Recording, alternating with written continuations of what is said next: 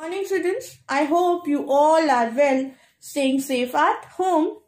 This is your English period. I am your English teacher. We were studying lesson number 15, adverbs in English language. We have already completed the explanation part, definition, exercise A. Today we will do exercise B in our books. So open page number 50 and start the work. Today we will do exercise B from lesson 15 adverb page number 50. Everybody open exercise B. Write down classwork. Put the date that is 9 December 2020. Right?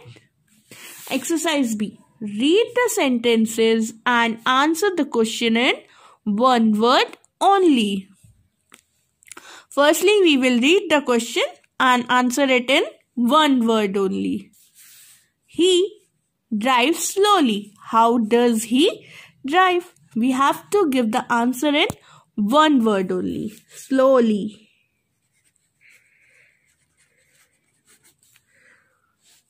Second one.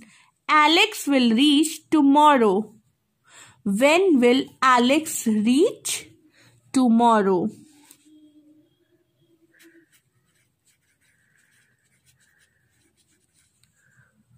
She went yesterday. When did she go?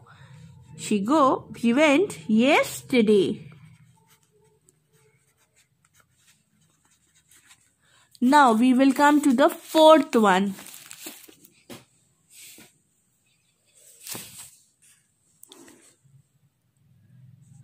He slipped there. Where did he slip?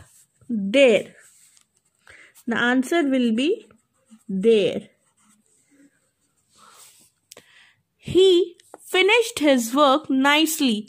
How did he finish his work? Nicely.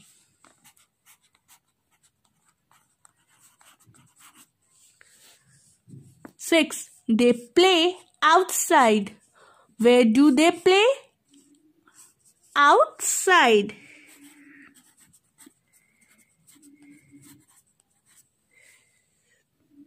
Students, we have written adverbs in the answer. What were they? Slowly, tomorrow, yesterday, there, nicely, outside, what are all these words? These are in one word and they all are at verb. So here we have completed our exercise B. That's all for today students. Your homework is learn the exercise B from lesson 15 adverb. Have a good day. Thank you.